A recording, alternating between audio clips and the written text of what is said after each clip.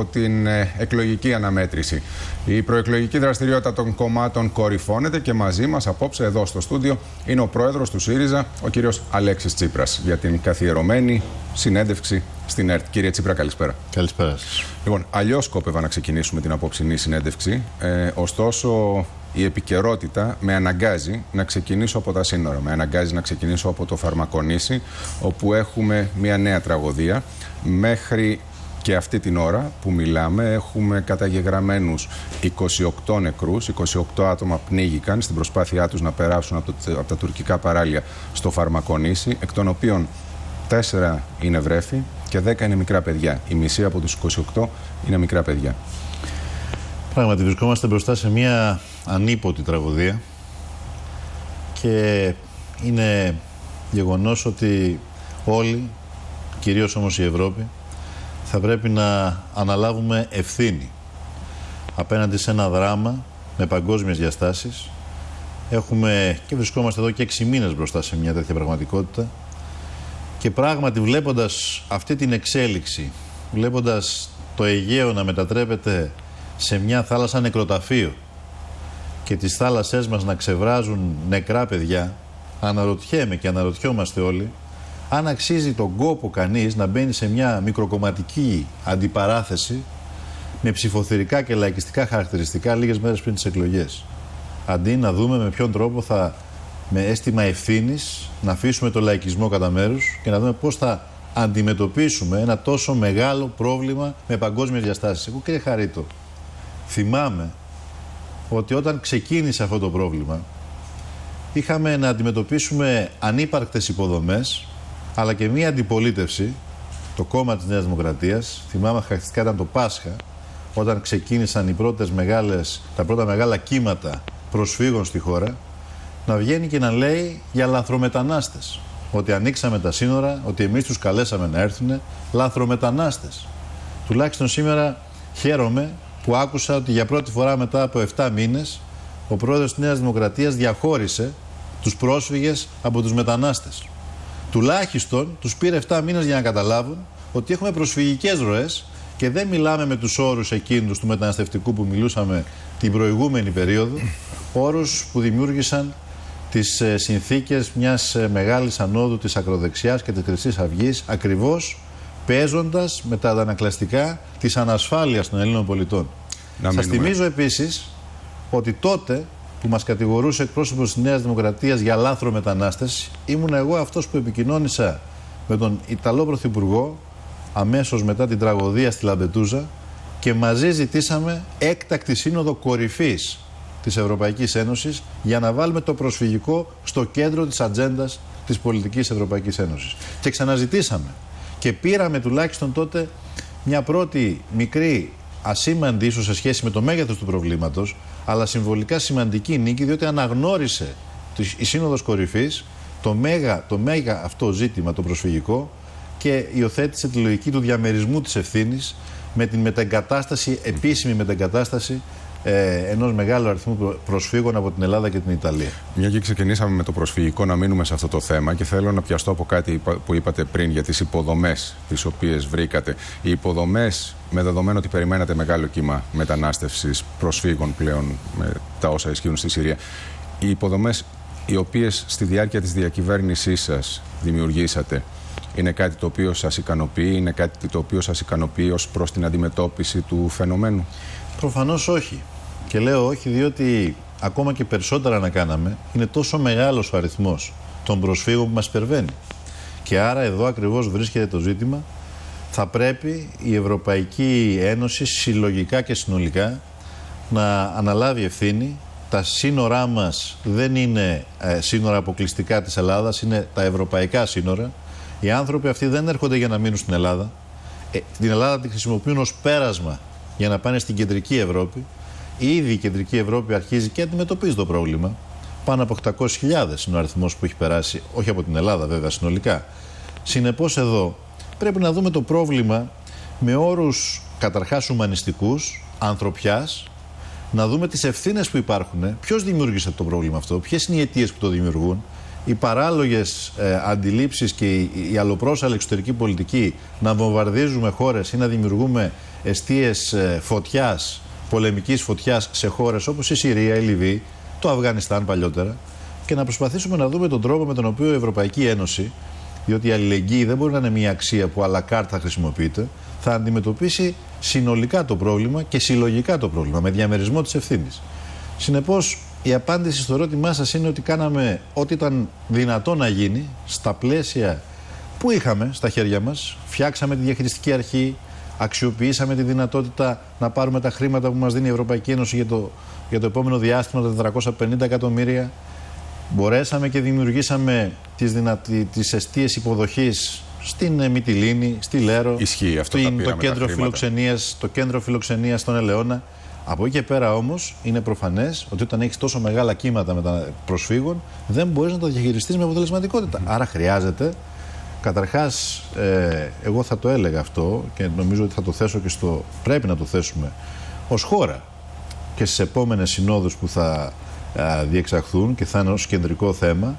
Α, υπάρχουν δύο στρατηγικές η στρατηγική που λέει ότι η Ευρώπη μοιράζει αυτούς τους ανθρώπους και τους αποδέχεται και τους ενσωματώνει ή η στρατηγική που λέει ότι ξέρετε εμείς κλείνουμε σύνορα, βάζουμε φράχτες και εκεί όπου δεν υπάρχει δυνατότητα να βάλεις φράχτες ούτε έχεις μπάρες να ανοίγεις και να κλείνεις στα θαλάσσια σύνορα γιατί δεν υπάρχουν στη θάλασσα μπάρες, φράχτες και όλα τα υπόλοιπα. Εκεί τι κάνεις, βουλιάζεις τις βαρκές.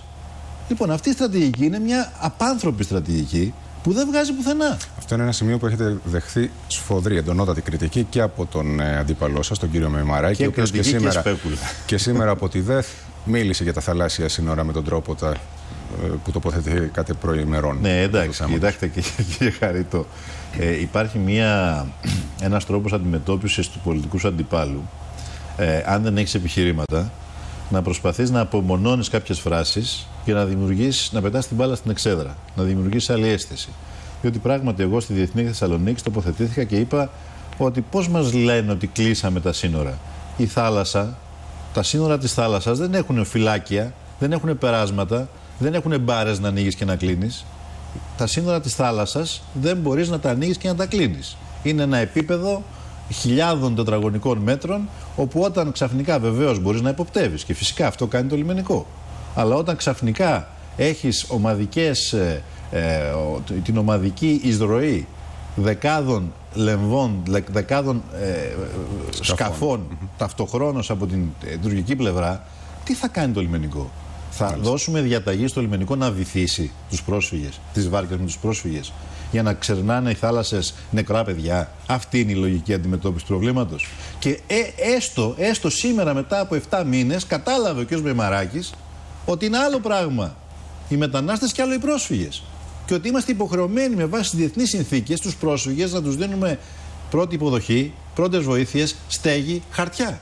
Ναι. Άσυλο. Λοιπόν, για να κλείσουμε αυτό το θέμα, μία τελευταία ερώτηση επί του προσφυγικού. Είπατε πριν ότι κάναμε ό,τι ήταν ανθρωπίνως δυνατόν για να αποσπάσουμε, να αποδεσμεύσουμε και τα κονδύλια από την Ευρωπαϊκή Ένωση.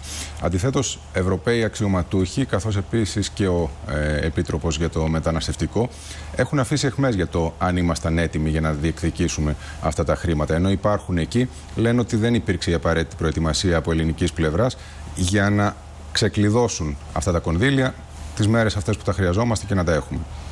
Η αλήθεια είναι ότι η προηγούμενη κυβέρνηση δεν αξιοποίησε καμία από τις δυνατότητες που υπήρχαν τότε στην Ευρωπαϊκή Ένωση για να έχει ήδη ε, αξιοποιήσει κονδύλια για την δημιουργία κέντρων υποδοχής.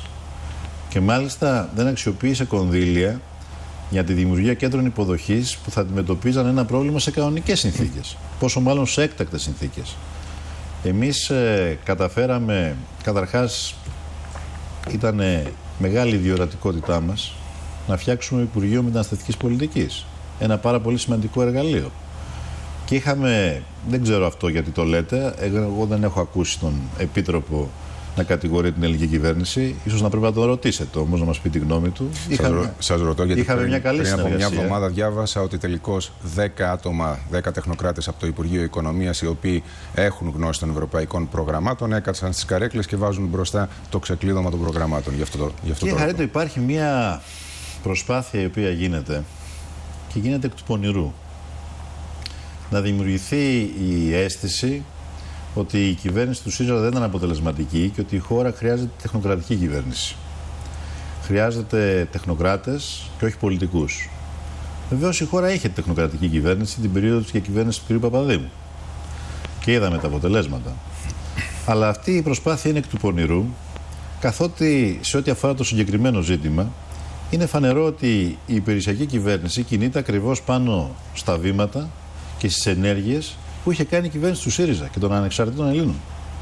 Η κυβέρνηση του ΣΥΡΙΖΑ και των ανεξαρτήτων Ελλήνων δημιούργησε όλο εκείνο το πλαίσιο ώστε να ε, συγκροτηθεί η διακριστική αρχή για να μπορούμε να πάρουμε τα χρήματα. Και μάλιστα αυτό τελείωσε μέσα στον Αύγουστο. Η διαδικασία ξεκίνησε τον Μάιο. Η κυβέρνηση του ΣΥΡΙΖΑ έφτιαξε τα κέντρα υποδοχής.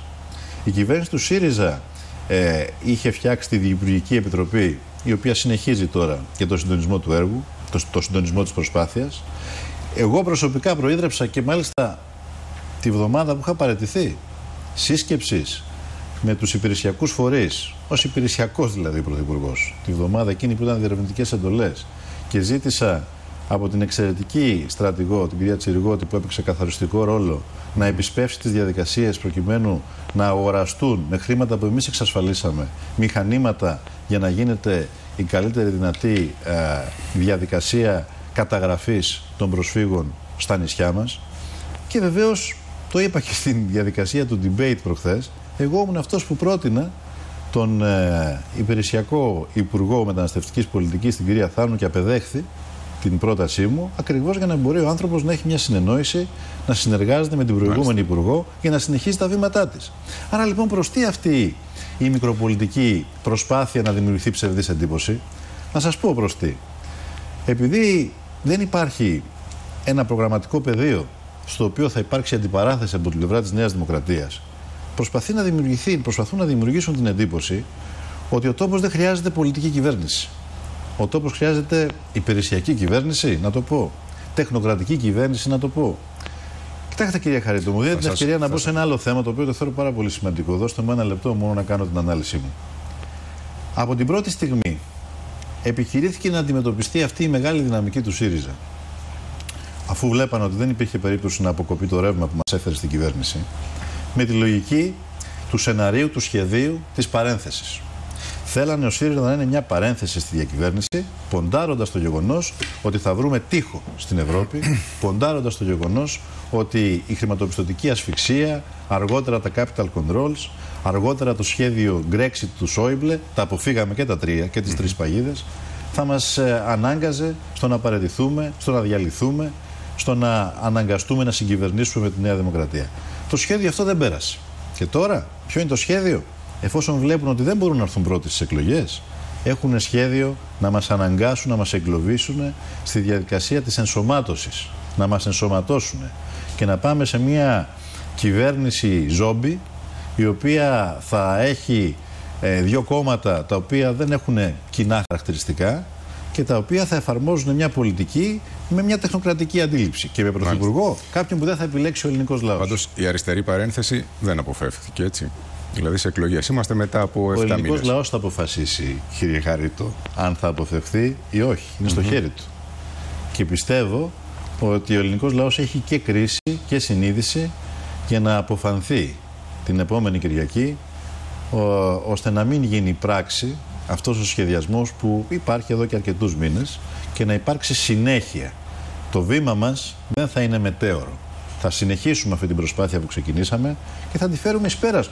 Να σας πω και κάτι άλλο. Άκουγα τον κύριο Μημαράκη στο debate πάλι, στην συζήτηση που είχαμε μαζί, να λέει ότι η Νέα Δημοκρατία δεν τα κατάφερε την προηγούμενη φορά. Πρώτον, επειδή είχε κυβέρνηση συνεργασίας και δεν ήταν αυτοδύναμη, ενώ τώρα υπεραμείνει της λογικής των κυβερνήσεων συνεργασιών. Άρα αυτό είναι μια μεγάλη αντίφαση.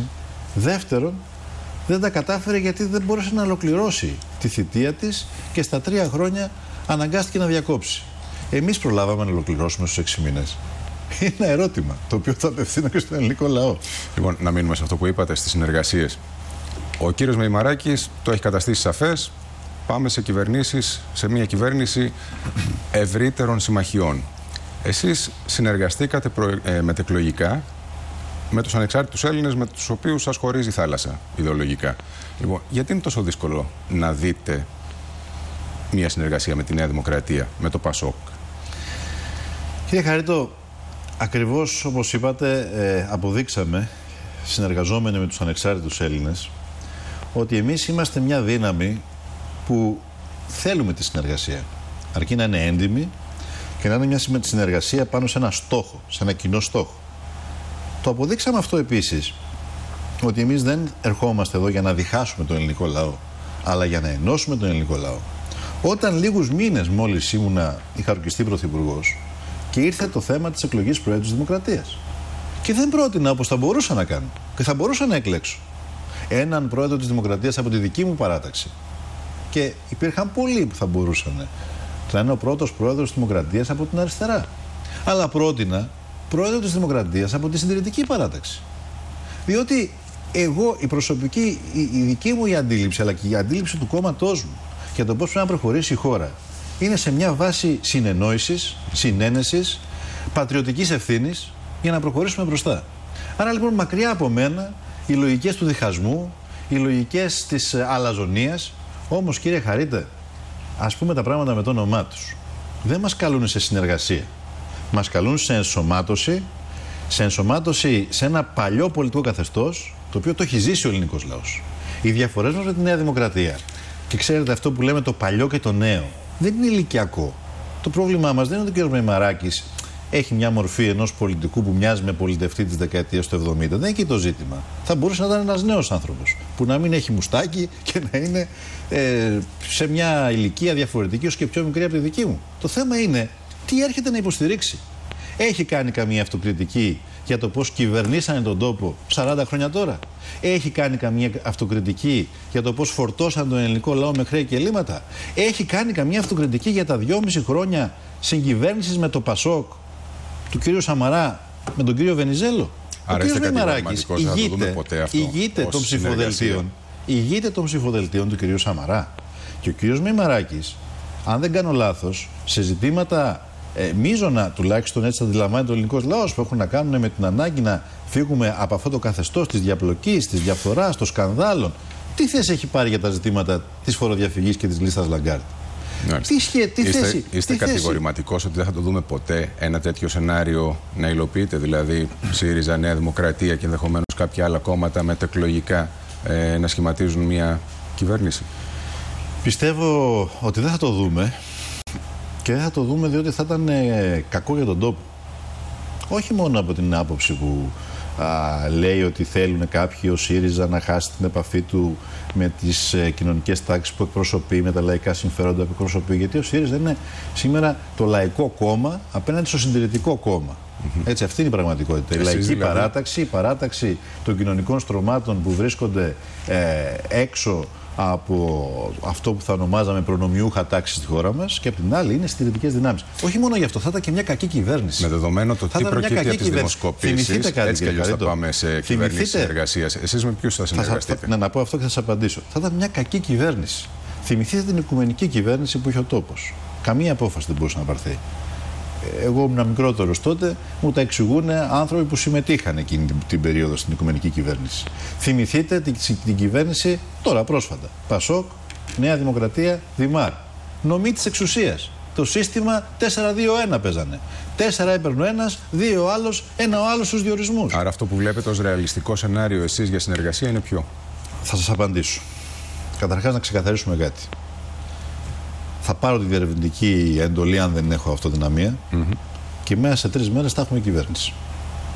Διότι το δίλημα που τίθεται είναι δίλημα απολύτως τεχνητό. Όλοι γνωρίζουν ότι αυτός ο οποίος θα έρθει πρώτος θα σχηματίσει κυβέρνηση. Κανένας δεν θα πάρει το κόστος να οδηγήσει τον τόπο ξανά σε εκλογές. Θα σεβαστούμε την ετοιμιγορία του ελληνικού λαού. Θα έχουμε κυβέρνηση την επόμενη των εκλογών. Δεν θα έχουμε όμως μια παραφύση κυβέρνηση. Διότι μια κυβέρνηση Νέας Δημοκρατίας και ΣΥΡΙΖΑ είναι μια παραφύση κυβέρνηση. Και να σας πω και κάτι άλλο. Δεν το θέλει ο κ. Μεμαράκη. Ωραία. Μια φυσιολογική κυβέρνηση ποια είναι; Δεν το θέλει, υποκρίνεται. Μια Δεν μπορεί να με λέει ψεφράκο, ψεφτράκο, πονηρούλη, καταστροφέα της οικονομίας και της χώρας και να θέλει να συγκυβερνήσουμε. Σήμερα άκουσα πάλι να λέει ότι μου προτείνει, ενώ μέχρι πρώτη μου πρότεινε τη θέση του Πρωθυπουργού, σήμερα με υποβίβασε και με έβαλε στη θέση του Αντιπροέδρου με μπερδεύει μάλλον με τον κύριο Βενιζέλο. Εγώ δεν είμαι κύριος Βενιζέλος. Δεν έχω ούτε την ε, διαδρομή, ούτε τη μεγάλη του ευφυα. Εγώ είμαι ένας ταπεινός άνθρωπος, αλλά έχω την εντυμότητα, την ειλικρίνεια να θέλω να χαράξω έναν άλλο, έναν άλλο δρόμο για τον τόπο. Έξω από το πλαίσιο της φαυλότητας που ζήσαμε όλα τα προηγούμενα χρόνια. Για να κλείσουμε αυτό το κεφάλαιο, μια φυσιολογική κυβέρνηση συνεργασίας από τη δική σας σκοπιά είναι ποια; Θα είναι μια κυβέρνηση η οποία ή δυνατόν θα έχει τον ΣΥΡΙΖΑ με άνετη πλειοψηφία στη Βουλή. Αν όχι, νομίζω ότι θα συνεργαστούμε εξαιρετικά όπως το πετύχαμε και την προηγούμενη περίοδο με τους ανεξάρτητους Έλληνες.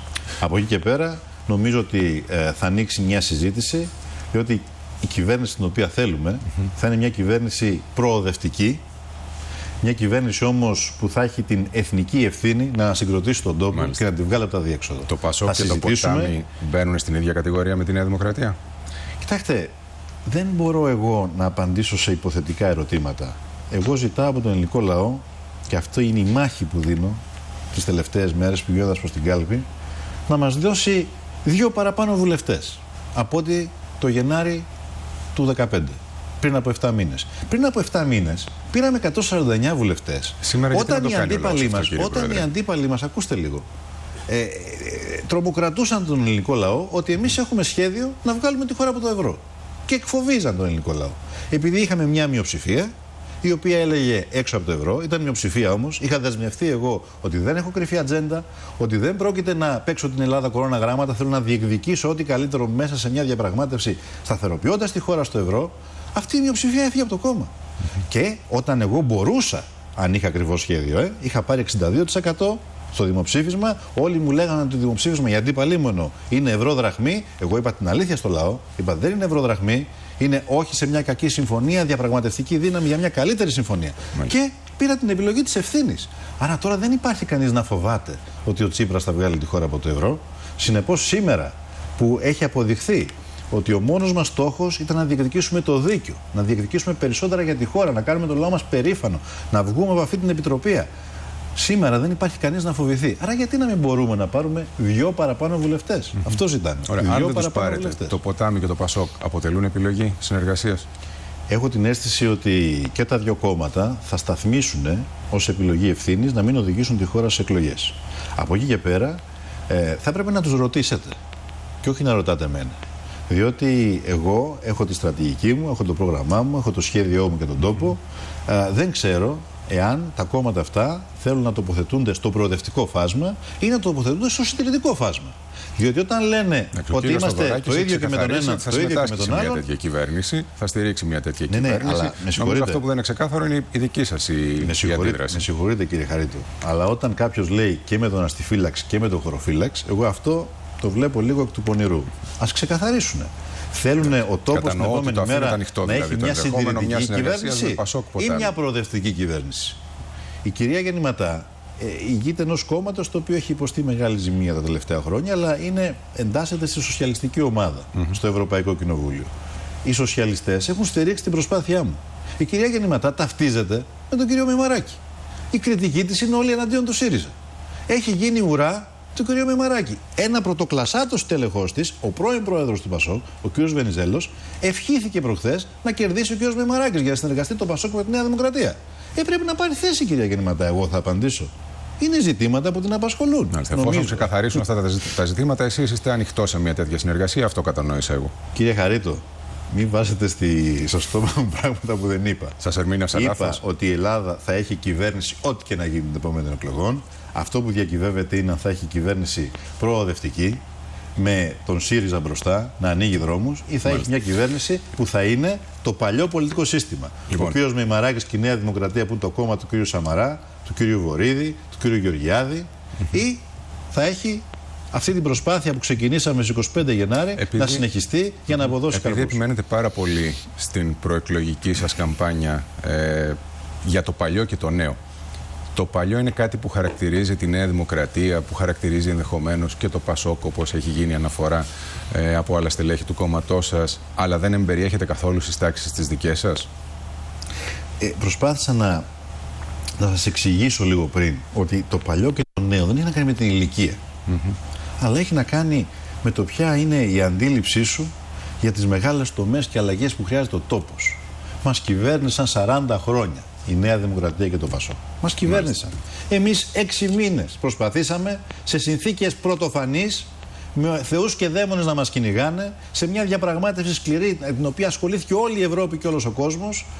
Υψώσαμε το ανάστημα του ελληνικού λαού. Κάναμε την ελληνική σημαία να κυματίζει σε όλες τις ευρωπαϊκές πρωτεύουσες. Διεκδικήσαμε το δίκαιο του ελληνικού λαού. Πήραμε μια συμφωνία που πιστεύω ότι βεβαίως έχει δυσκολίες, αλλά μας δίνει ανάσα και προοπτική και θέλουμε να συνεχίσουμε αυτή την προσπάθεια. Και θέλουμε τώρα να επικεντρώσουμε, να επικεντρώσουμε τις δυνάμεις μας όχι στο εξωτερικό, αλλά στο εσωτερικό. Στις μεγάλες τομές που έχουμε τώρα μέσα. Πρέπει να έχουμε αυτό το γραφειοκρατικό κράτος ή πρέπει να το αλλάξουμε. Πρέπει να χτυπήσουμε τα τζάκια και τη διαπλοκή σε αυτόν τον τόπο. Πρέπει να σταματήσουμε τη φοροδιαφυγή. Πρέπει να ελέγξουμε τις λίστες της φοροδιαφυγής, τη λίστα Lagarde, όλες αυτές τις λίστες που δημιουργούν ένα αίσθημα κοινωνικής αδικίας στον ελληνικό λαό. Πρέπει να τις κάνουμε αυτές τις τομές. Να δώσουμε έμφαση στην παιδεία, στην υγεία, στην κοινωνική προστασία. Χρειάζονται όμως μεγάλες τομές με το χθες για να προχωρήσουμε. Είστε ικανοποιημένος επειδή έχει αποτελέσει σημαία αυτής της καμπάνιας της ε, διαφημιστικής, της προεκλογικής του ΣΥΡΙΖΑ η διαφθορά; Είστε ικανοποιημένος από τους ρυθμούς με τους οποίους η κυβέρνησή σας προχώρησε τις διαδικασίες ταυτοποίησης στοιχείων ελέγχου της διαφθοράς; Ναι, βέβαια, είμαι ικανοποιημένος διότι είναι φανερό. Ανάσανε η δικαιοσύνη, ανοίξαν υποθέσεις. Υπήρξε 261% αύξηση εσόδων σε, σε, σε, κάθε φορολογική υπόθεση 261% αύξηση εσόδων. Είναι τεράστια αύξηση εσόδων από την, ε, ε, την, ε, το ψάξιμο των φορολογικών υποθέσεων του παρελθόντος. Δεν υπήρχε δηλαδή τίποτα στο παρελθόν, κουκούλωμα μόνο. Και νομίζω ότι όταν μιλάνε κάποιοι από το εξωτερικό και μας δίνουν τα εύσημα, δεν χρειάζεται εγώ να βλογάω τα γένια μου. Είδατε τι δήλωσε χθες ο άνθρωπος που ανέδειξε την, που έφτιαξε την υπόθεση της λίστας Λαγκάρτ, ο Φαλτσιανί, αυτός βρήκε τα στοιχεία και τα έδωσε στη δημοσιότητα και η Λαγκάρτ μετά έδωσε το στικάκι στον κύριο Παπακωνσταντίνου και το έβαλε στο συρτάρι και μετά το έβαλε στο συρτάρι ο κύριος Βενιζέλος και όλοι πήγαν να τα κουκουλώσουν. Όταν λοιπόν βγαίνει ο Φαλτσιανί και λέει η κυβέρνηση Τσίπρα, η κυβέρνηση ΣΥΡΙΖΑ άνοιξε δρόμους και ε, δίνω συγχαρητήρια για την προσπάθεια που έκανε και συγχαρητήρια και στους δικαστές που διερευνούν την υπόθεση, τότε δεν χρειάζεται να πω εγώ κάτι. Το μόνο που έχω να πω είναι ότι όλα πρέπει να έρθουν στο φως. Όσο ψηλά ιστάμενοι και αν είναι αυτοί που κρύβονται πίσω από την υπόθεση Λαγκάρτ. Όσο ψηλά ιστάμενοι. Λοιπόν, κύριε Πρόεδρε, θα μείνω σε αυτό που είπατε πριν, ότι φέρατε μια συμφωνία, ένα μνημόνιο. Ε, είναι αυτό το οποίο ήρθε. Είναι το τρίτο μνημόνιο το οποίο έρχεται στη χώρα. Πάμε σε εκλογές ε, υπό το πρίσμα της συμφωνίας αυτής. Η αντιπολίτευση σας κατηγορεί, μάλλον όχι αντιπολίτευση, σε εκλογές είμαστε πλέον. Ο κύριος Μεϊμαράκης, ο πρόεδρος της Νέας Δημοκρατίας, σας κατηγόρησε και σήμερα, και σήμερα από την ε, Διεθνή Έκθεση Θεσσαλονίκης. Δημοσκοπικά πάντως είστε στήθος με στήθος, έτσι. Ε, ξέρουμε, ξέρουμε να διαψεύδουμε Ότι εμπεριέχει βαριά φορολογία και ηφαισιακά μέτρα. Ναι. Και το ερώτημά σας ποιο είναι; Το ερώτημά μου είναι ότι εσείς λέτε ότι η συμφωνία αυτή είναι μια καλύτερη συμφωνία από τις συμφωνίες που είχαν φέρει οι προηγούμενοι. Αλλά δεν το συζητάμε αυτό. Το ερώτημά μου επίσης δεν το συζητάμε είναι ότι... αυτό. Ε, κύριε, κύριε Χαρίτα, με συγχωρείτε. Έχει μια δημοσιονομική προσαρμογή που είναι 2,9 δισεκατομμύρια ετησίως mm -hmm. για τα επόμενα τρία χρόνια.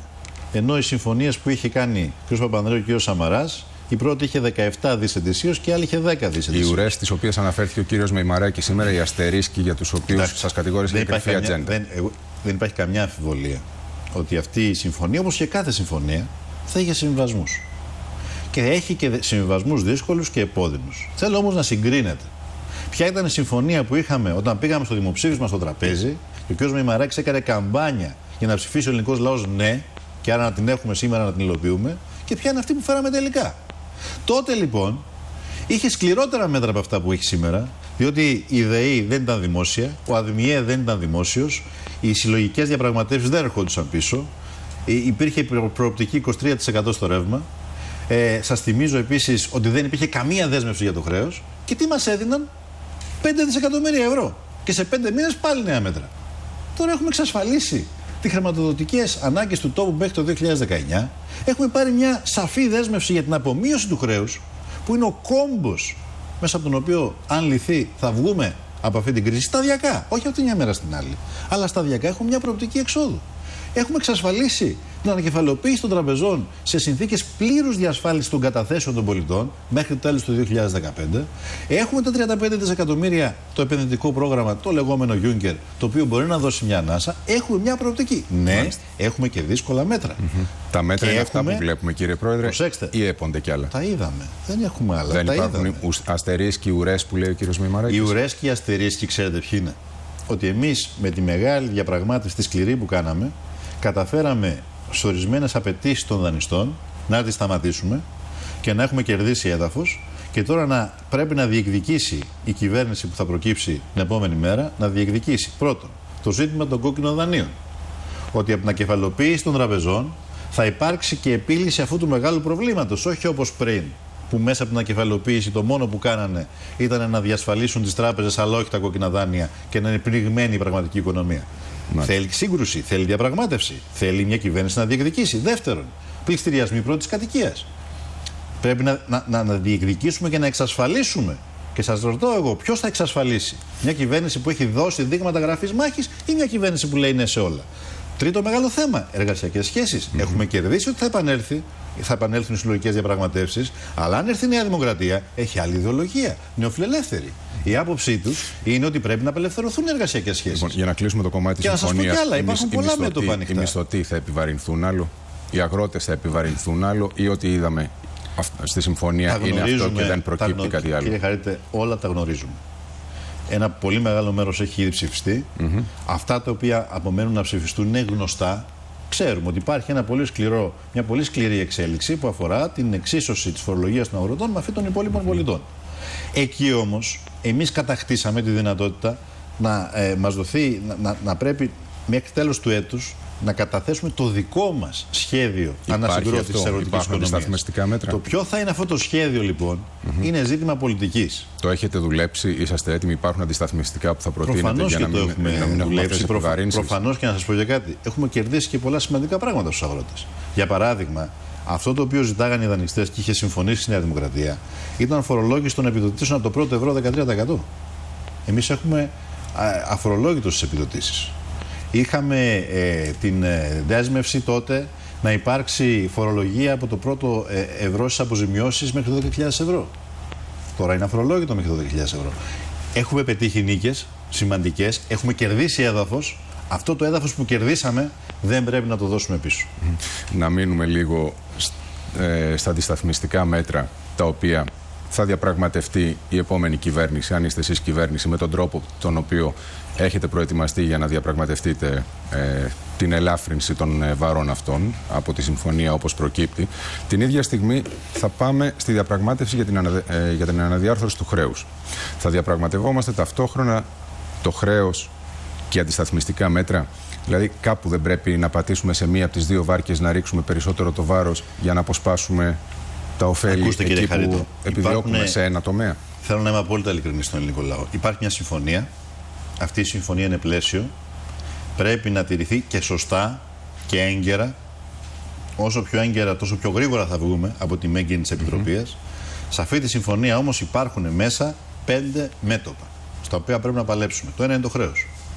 Και αναρωτιέμαι ποιος μπορεί να το διεκδικήσει καλύτερα. Αυτός που βγαίνει και λέει ότι είναι βιώσιμο ή εμείς που διεκδικήσαμε με μάχη το να ξεκινήσει η συζήτηση για την απομείωση. Το δεύτερο μέτωπο είναι αυτό που αφορά τους πληστηριασμούς και τα κόκκινα δάνεια.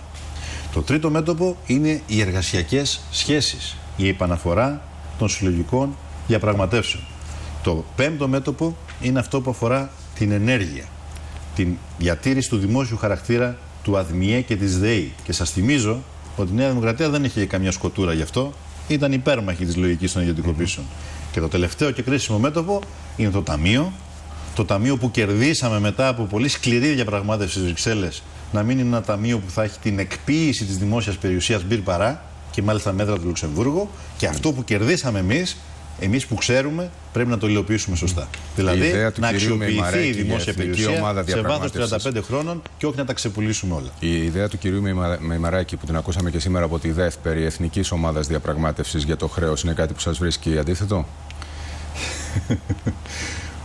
Γελάω, ξέρετε γιατί; Διότι στην ε, σύσκεψη των αρχηγών τη Δευτέρα μετά το δημοψήφισμα, τους είχα πει εγώ την ιδέα, ελάτε να φτιάξουμε μια ομάδα όπου σε μόνιμη βάση, πώ είναι το Συμβούλιο Εξωτερικής Πολιτικής, να είναι ένα Συμβούλιο Ευρωπαϊκής Πολιτικής, να έχει θεσμικά εκπροσώπους και να υπάρχει ενημέρωση, να υπάρχει.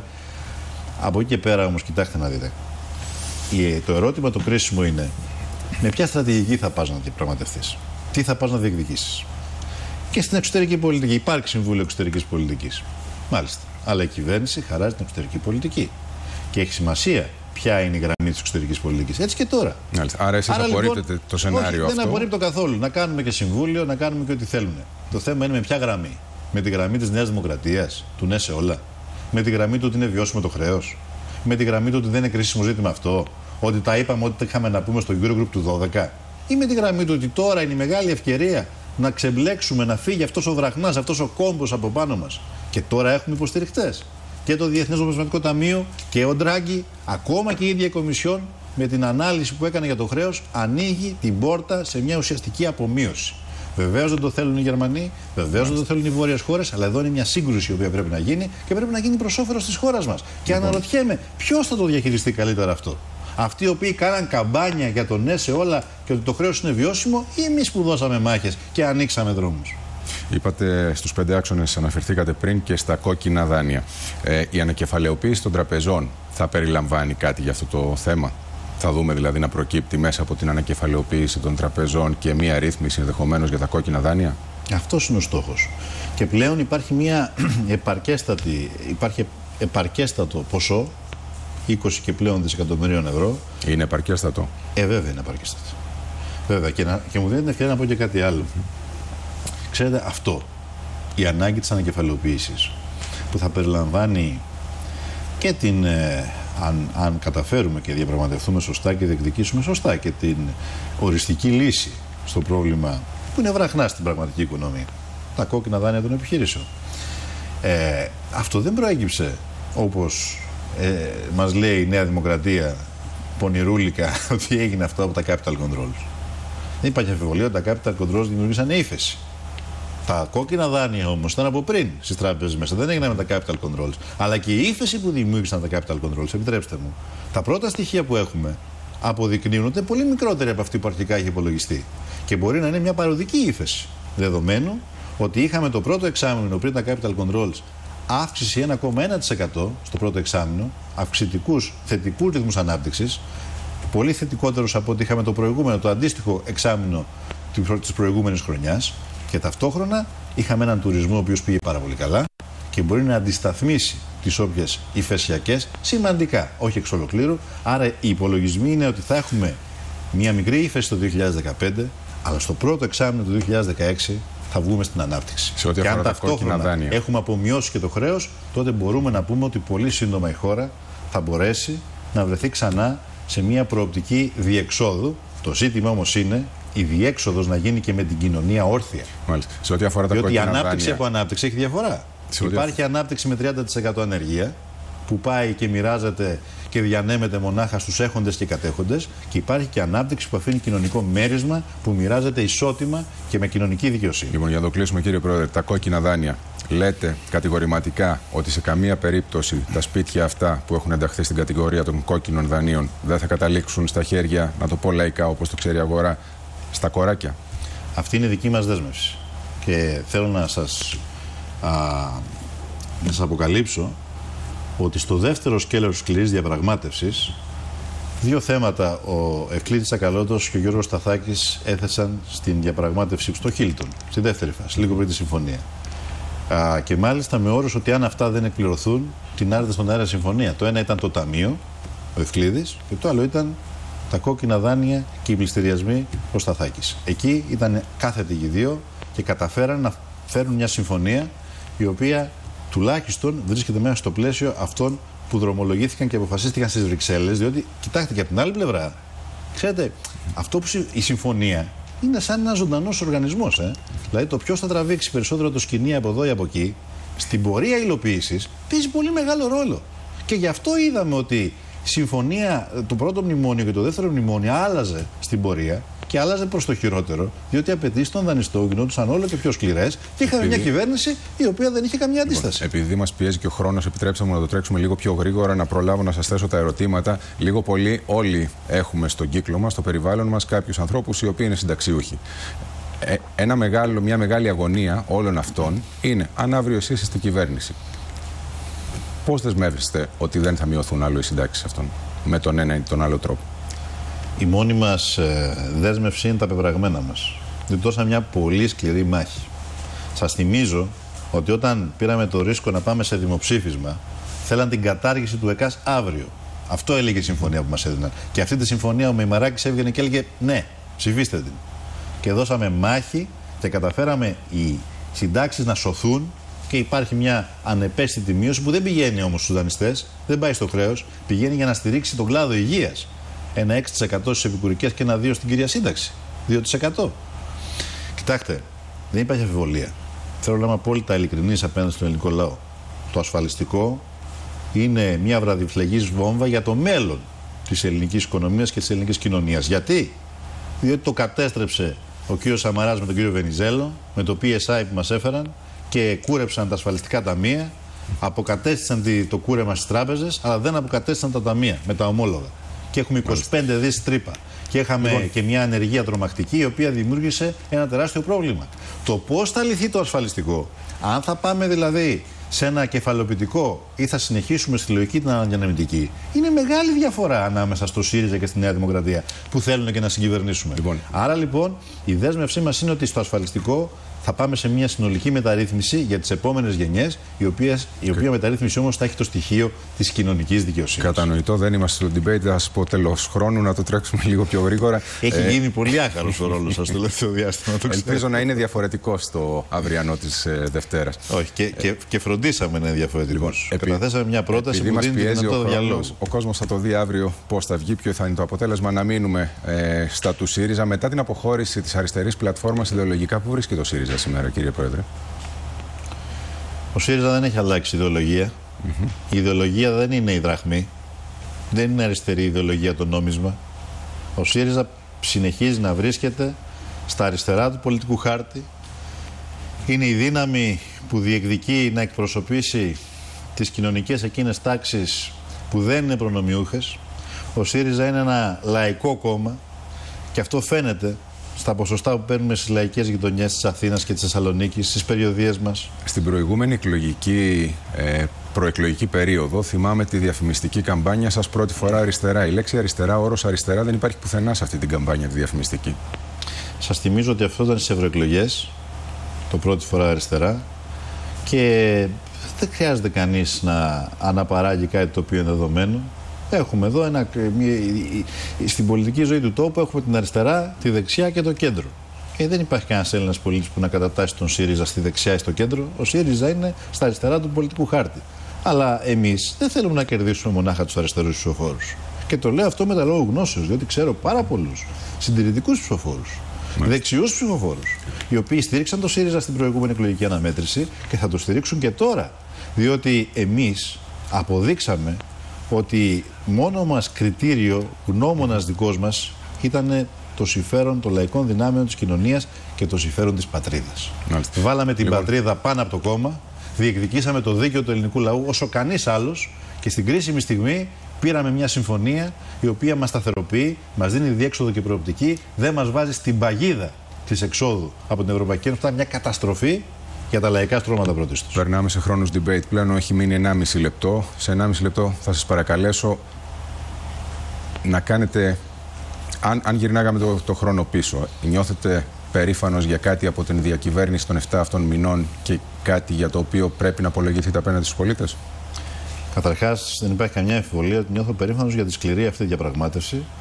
Για το ότι οι Έλληνες για πρώτη φορά, μετά από πάρα πολύ καιρό, αισθάνθηκαν ότι έχουν μια κυβέρνηση που τους κοιτάει στα μάτια και που διεκδικεί για αυτούς διότι βγήκα και είπα μέσα στο Βερολίνο το ζήτημα των κατοχικών επανορθώσεων ζήτησα να ανοίξει ο φάκελος της υπόθεσης Siemens και στο εσωτερικό σε συνθήκες ασφυξίας καταφέραμε να φτιάξουμε ένα νόμο για την ανθρωπιστική κρίση, για τις 100 δόσει, να κόψουμε τον 5 ευρώ στα νοσοκομεία, να ανοίξουμε την ΕΡΤ, να επαναποκαταστήσουμε τους ε, παράνομα διοκθέντε και απολυμμένου από το δημόσιο τομέα, να εξασφαλίσουμε ότι δεν θα υπάρχουν ομαδικές απολύσεις στον ιδιωτικό τομέα. Για όλα αυτά είμαι περήφανος.